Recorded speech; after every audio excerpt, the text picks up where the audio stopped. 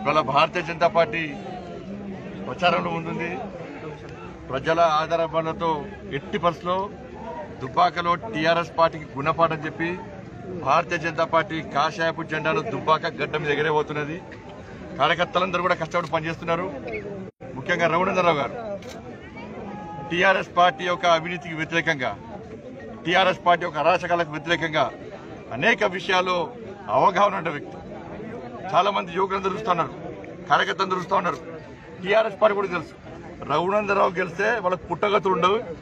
కాబట్టి అన్ని అక్రమాలను బయటపడుతుంది వాళ్ళ అవగాహన ఉన్న వ్యక్తి ఇలా భాగ్య అసెంబ్లీలో రాజా సింగ్ ఏదైతే ధర్మం కోసం ఇలా సమాజం కోసం గుంతెత్తి వాళ్ళ సమస్యల మీద లేవనెత్తుతుండో రాజా సింగ్ తోడుగా ఇలా రమణేంద్రరావు గారు ఇలా అసెంబ్లీలో అడుగుపెట్టబోతున్నారు.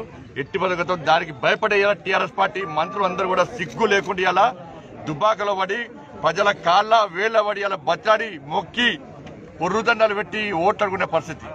దుబ్బాక ప్రజలు విజ్ఞులు ఆలోచన ఇన్ని రోజులు ఏ మంత్రి రాలే ఏ ఎమ్మెల్యే రాలే ఎన్నికలు వచ్చినా వర్షాలు పడితే ఉసూరులు వచ్చినట్టు ఇలా ఇవాళ టీఆర్ఎస్ పార్టీ మంత్రులు ఎమ్మెల్యేలు అందరూ కూడా ఇవాళ ఎగబడి ఎగబడి ఇలా దుబ్బాకలు ఇలా అక్రమ పద్ధతులలో అడ్డదారులు ఇలా గెలిచే ప్రయత్నం చేస్తున్నారు. ఇలా పై దుబ్బాక ప్రజలకు అప్పీల్ చేస్తున్నారు. పైసలు తీసుకొని పక్క పైసలు మనయే. ప్రతి పైసా పేద ప్రజలదే. పక్క పైసలు తీసుకొని కానీ ఓటును మాత్రం అమ్ముకోకండి. నియత్తో వివరించండి అలా? భారతీయ జనతా పార్టీ గెలిపించండి. మీ సమస్యల మీద పోరాడే అవకాశం ఇలా రమణరావుకి చేయండి అలా? భారతీయ జనతా పార్టీ మీకు అన్నా ఉంటుంది. దుబ్బాక ఇదే నియోజకవర్గంలో ఇలా ప్రతి పైసా భారతీయ జనతా పార్టీ కేంద్ర ప్రభుత్వం పైసలే. మీకు మీకు ఇచ్చే బియ్యం పైసలు కేంద్రాన్ని ఇరవై తొమ్మిది రూపాయల పైసలు కేంద్రం ఇస్తే ఇలా ముఖ్యమంత్రి ఇచ్చేది కేవలం రూపాయి మాత్రమే.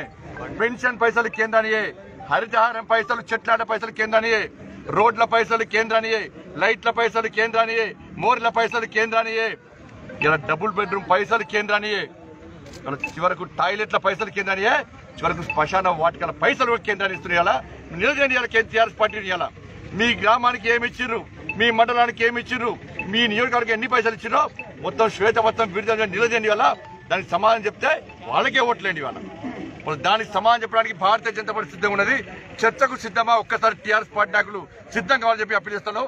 ఎట్టి పరువు దుబ్బాకలో గెలవతున్నాము కాషాయం జెండా ఎట్టి పరువు రెపరెపలు అడబోతున్న విషయాన్ని